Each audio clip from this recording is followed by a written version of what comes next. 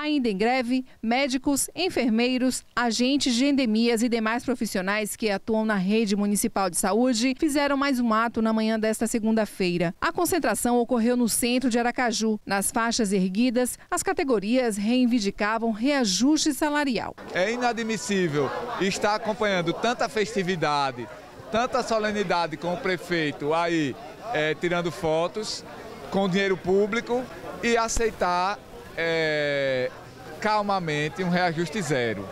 É a única categoria, é o único setor da prefeitura que recebeu reajuste zero ele vem deixando a saúde por último no pagamento. Os profissionais continuam com a alegação de que a prefeitura não demonstra interesse em dialogar. Não há, não há diálogo efetivo com a prefeitura, ela nos dá prazos e não cumpre esses prazos, então fica complicado a partir de agora acreditar na palavra do prefeito João Alves quando ele diz datas que não cumpre, era para se pronunciar segunda-feira, hoje já tem sete dias e até agora nenhum posicionamento com relação ao reajuste foi concedido para todas as categorias, com exceção da saúde. As categorias estão em greve desde o início deste mês e garantem manter o movimento. Além dessa luta pelo reajuste, a gente está sempre lutando todos os meses por causa do atraso salarial.